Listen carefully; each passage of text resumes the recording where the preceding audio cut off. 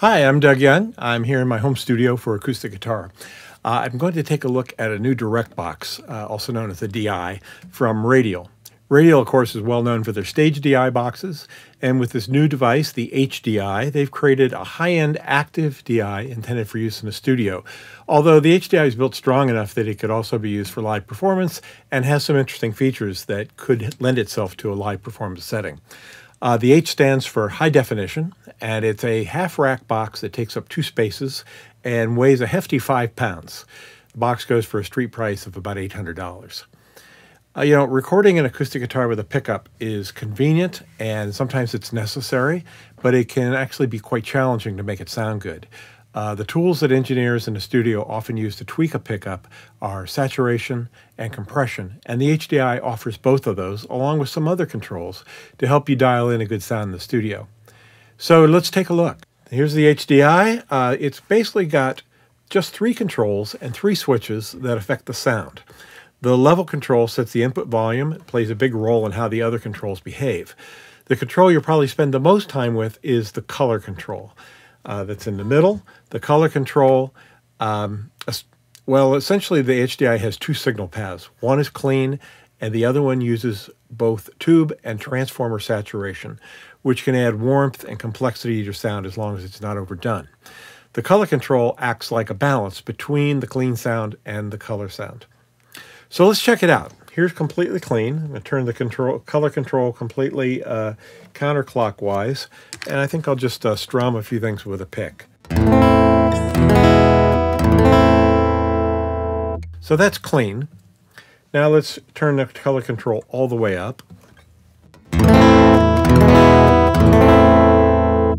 You can hear a hint of distortion there. I mean, I'm going for an extreme. And if, in fact, if I crank the level control all the way up and drive that color channel hotter, we can get a rock style crunch. So we've got anywhere from ultra clean to pretty dirty. And of course, a lot of good sounds in more middle territory.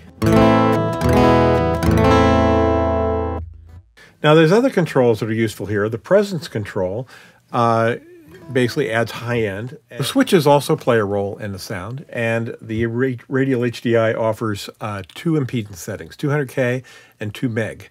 I'm using a passive undersaddle pickup, which is sensitive to input impedance, and I'll get a thinner sound with some rolled off bass if I use the low impedance setting. Let's switch it to low.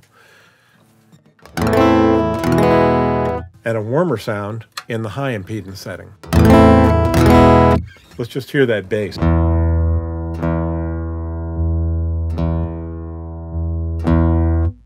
There's also an optical compressor. It has three settings, off, plus two, two different thresholds, and that works together with the level control. There's also a, a high-pass filter with two different frequency cutoffs that can clean up some of the low mud in a guitar if you need that. Um, so a lot of options here. The HDI is actually very simple to operate, but there are a lot of interactions between the controls, as hopefully you've already seen.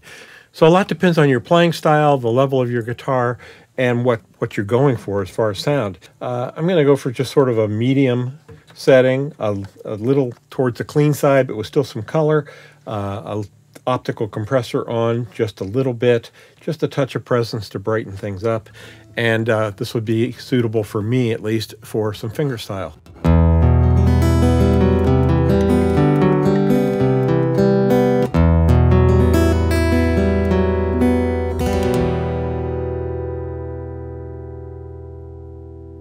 Now the back panel, in addition, has line outputs and mic level XLR inputs. You can use them both at the same time. And there are two quarter inch outputs, one on the back that carries the process sound, and one on the front that is a through output. In other words, unprocessed. It's just your raw pickup the same way it came into the device. So you have a lot of flexibility to route signals to multiple places and blend those sounds.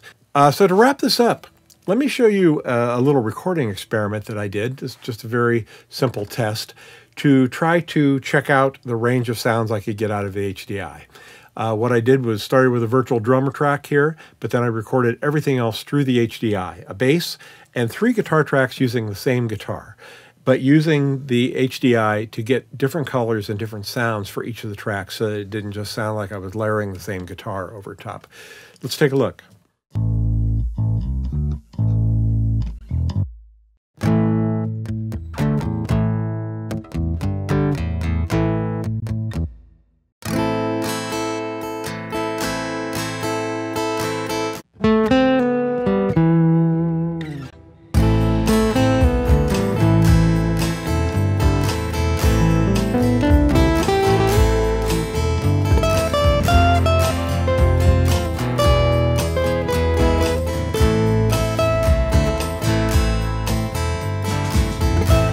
So that's the Radial HDI. It's a very interesting tool for anybody who wants to record your guitar or, or other instruments for that matter uh, directly using a pickup or direct line out.